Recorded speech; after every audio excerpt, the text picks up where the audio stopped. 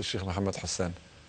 لو فيما يتعلق بأهل الذمة. أهل الذمة آه هنا خطأ من وجهين. خطأه هو أنه هو حريص على المصطلحات التي وردت في الكتاب وفي السنة حتى إنه يحرج أن يقول كلمة مسيحي.